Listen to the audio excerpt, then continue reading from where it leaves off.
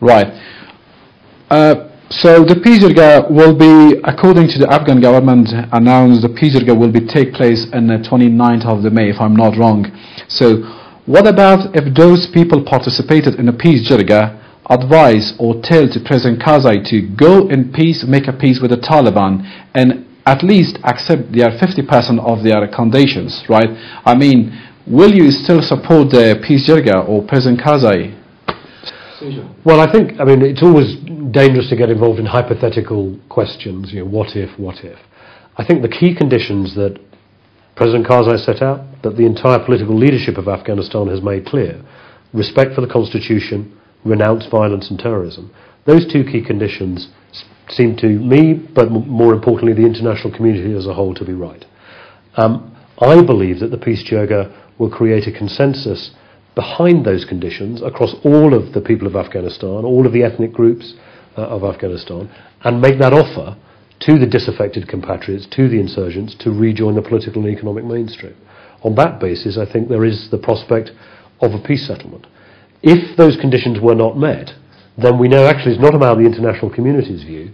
We know that there couldn't be peace within Afghanistan because the other people of Afghanistan not involved in the insurgency, women's groups, um, other ethnic groups, people who, minorities who would fear for their safety, wouldn't accept it. So those two key conditions are, are, are important because only on that basis can there be a, a genuine and sustainable peace. Right. So what about if those Taliban say, okay, we respect the constitution, we obey the constitution, but one of the main condition is to international troops in Afghanistan leave Afghanistan and we make a peace. What's your comment about this?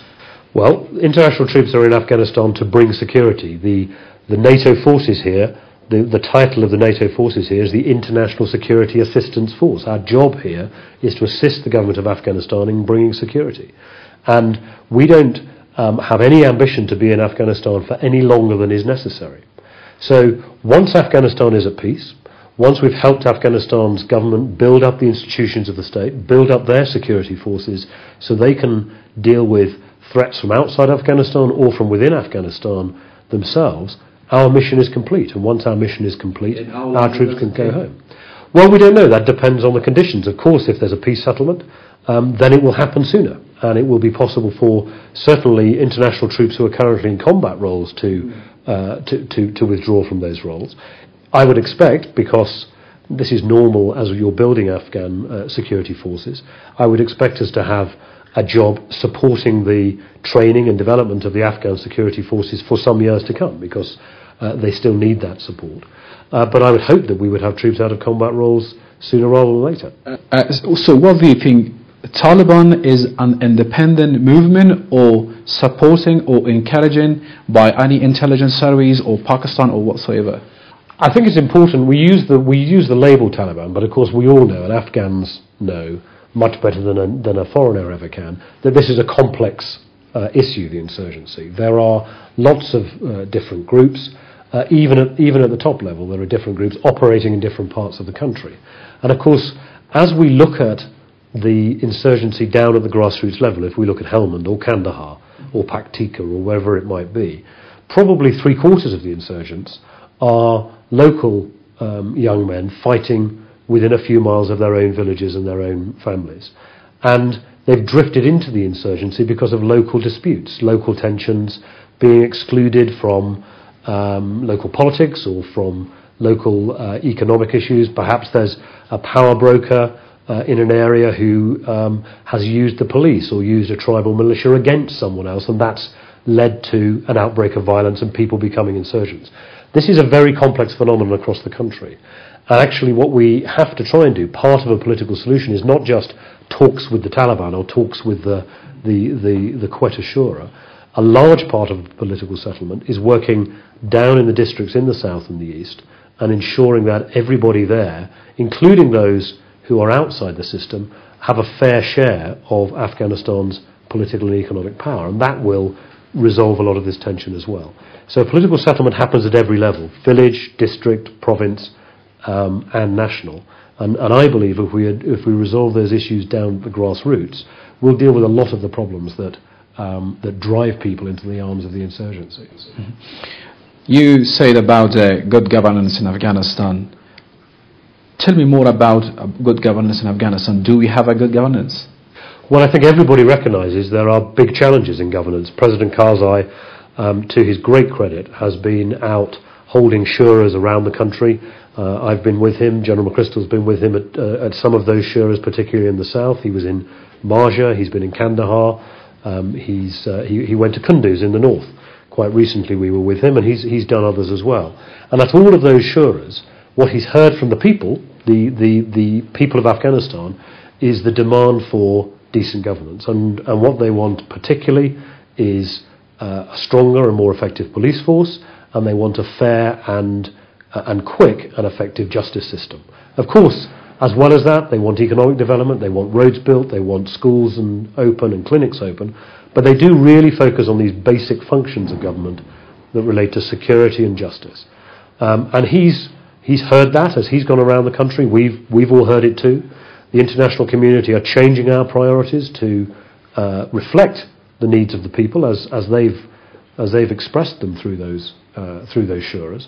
And President Karzai has committed uh, during his second term that that's a priority for him as well. Uh, what about corruption?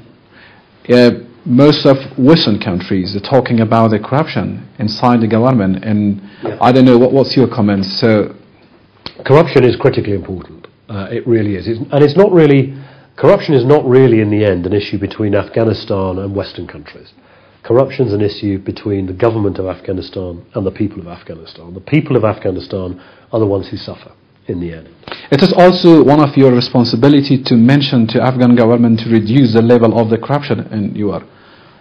Well, I think everybody has a responsibility to tackle uh, corruption, and, and, of course the Afghan government must take uh, the lead in doing so. Where, uh, in my view, it is uh, critically important and really urgent is where corruption, again, particularly in the unstable areas of the country, is really a symptom of the abuse of power, and where certain local warlords, sometimes tribal leaders, sometimes power brokers, are using their local political influence not only um, to benefit from corruption, but actually uh, are abusing their power and their influence and using the institutions of the state against the people, or at least some of the people, other tribes, for example, rather than them serving the people. And I think that is the critical issue, and corruption is a symptom of that but it's not the only it's not the only issue that we have to address. Well, apparently, some Western countries, uh, Britain and the United States, gave six-month ultimatum to Afghan governments to reduce the level of corruption in Afghanistan. Otherwise, they won't help Afghanistan anymore after six months. Have you seen any sign of reducing corruption in Afghan governance? Well, well, the first point is there haven't been any ultimatums from the British government, the American government, or anyone else. There has been a very clear um, uh, requirement by all of the international donors that corruption is tackled and tackled seriously. But Mr. Obama, President Obama, he mentioned in his speech he will see, uh, he will closely watch Afghan governments to how tackle with the corruption. What, what, what about this? that, that's absolutely right. I'm not suggesting there isn't a strong commitment to tackling corruption, but it, but but you did ask whether there had been an ultimatum, and there hasn't been an ultimatum.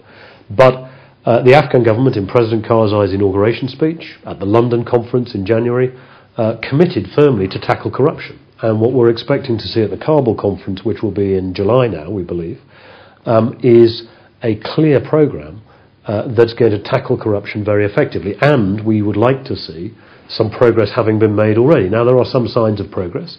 In the finance ministry, for example, Minister Zakhilwal has really started to try and crack down on corruption within the ministry and within the customs area and increase the revenues of the government. The same is true in, uh, in some of the other uh, ministries as well. But we need to see a proper programme across government to tackle corruption, and I hope we'll see that as one of the outcomes of the Kabul conference. Um, I'm confident that the Afghan government is determined to achieve that, and, and let's see let's see what comes out of the Kabul conference. I think so, yeah.